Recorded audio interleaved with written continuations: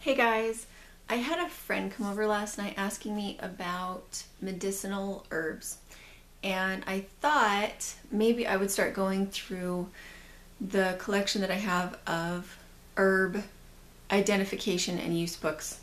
My first one, even though it didn't have the answer for her in it because her answer was self heal, she has um, canker sores. If you have canker sores, you can make a mouthwash. Um, that you can use for the canker sores and it's supposed to do a really good job of healing things up. You can also take it internally. I have the seeds for it and I planted it before, but again, I didn't label anything because I just don't label things. It's just life is such an adventure when you're hoping that you're not poisoning yourself as opposed to healing yourself. It just puts that little zip in your day. Anyway, so my first book, I got this from my mom, and I remember having it in our house a lot when I was a kid. From The Shepherd's Purse. And isn't it pretty? It has all these fun medicinal equipment on the picture. And it is by Max G. Barlow, B A R L O W. And the reason that I like this book is because it has drawn pictures verbal explanations. Um, and my favorite part is that it shows the months of the year and the locations in the in the country where they would be most likely to be found. So this is Plantago, and it is found all over the United States, and the seasons that it should be used are in, ah, if I can find it, these boxes. And then this, at the bottom, these colorful boxes, explain to you how to use it, what that plant is good for. And it just takes all of the confusion out of looking on your own property for medicinals. Um, the other thing is it lists all the different names of the plant. So for, for Plantago, it's cuckoo's beard, or sorry, cuckoo's bread, way bread, Englishman's foot, rat tail, chimney sweep, bird seed, devil shoestring, ribgrass, white man's foot, and snakeweed. And then it has rose hips, and it shows that you should harvest them September through November between the hours of 8 o'clock, let's see, between the hours of 8 o'clock in the morning and 5 o'clock at night. Isn't that fun?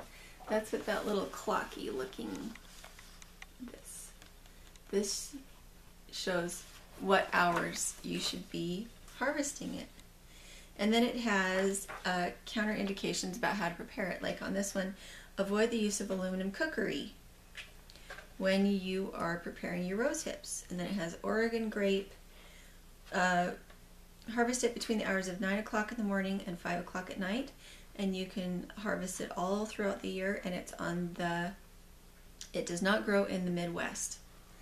It grows in the far west and it grows in the east up to the Missouri River. And it shows parts used in this box. This box, sorry, is shows a picture of what parts you use. Um, anyway, like tansy, all over the United States, you use the whole thing, and it's used to expel worms such as pinworms, it aids in painful menstruation and it is an insect repellent. So the way that these boxes work is the green ones are for internal use, the pink ones are for external use. Isn't that? I just think they put this book together so well. And it, it's not hugely comprehensive. What it is, is um, it takes common plants that you see all the time and explains how to use them and then it has a section separate for how to make ointments. So instead of wasting space on an individual page, they just have on it you use it for ointments and then they direct you to the page that explains how to use ointments, which is really nice. And so they have them set up into sections. They have yellow dock, bearberry, gravel root, chickweed, and chamomile all together. and it's five botanicals, tincture, and fluid extraction preparation. So they put all the plants together that need to be prepared in the same way. Oh, did I not show you? Sorry. I don't know what you can see because now my head is behind the book. It has this pretty picture on the back of this pretty lady sitting on a, a rock under the ocean. Anyway, there's that. I have other books that I like that are for herbal, but this is the first one I go to just because it's so definite and it's so simple. Um, preparation for drawing sal salves. Um, they have these little plant identification tags you can make a copy of and clip out and then tape onto your jar.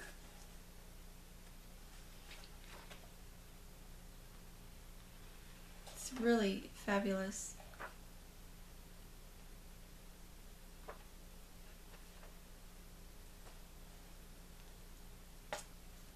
And then it goes through a list of plants that contain certain elements.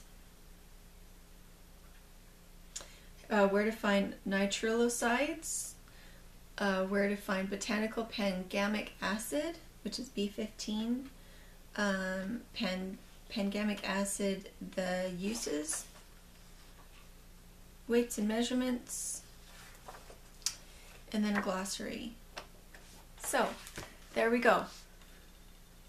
And it, it the publisher is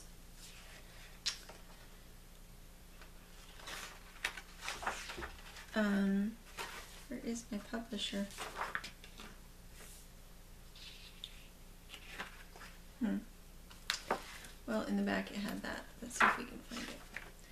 Um, Spice West Public Publications is who printed this and it's in Pocatello, Idaho, so pretty close to us. I wonder if it's just a local thing, but I swear I've seen these in other places.